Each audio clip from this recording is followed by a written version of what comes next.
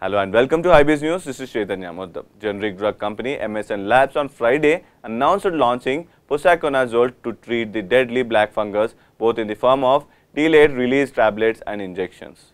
The announcement comes at a time when India is witnessing an increased number of post-COVID patients being detected with black fungus or mucormycosis and a shortage of antifungal medicines. The Hyderabad headquartered pharmaceutical firm which had earlier launched a set of antiviral drugs such as favipiravir, oseltamivir and baricitinib said it has developed both the active pharmaceutical ingredient and the formulation of posaconazole being launched under the brand PosaOne. MSN Lab said PosaOne was being launched in 100 mg doses of delayed release tablets and in 300 mg doses of injection as a triazole antifungal agent indicated for treatment mucormycosis patients. Thank you for watching HyBiz News.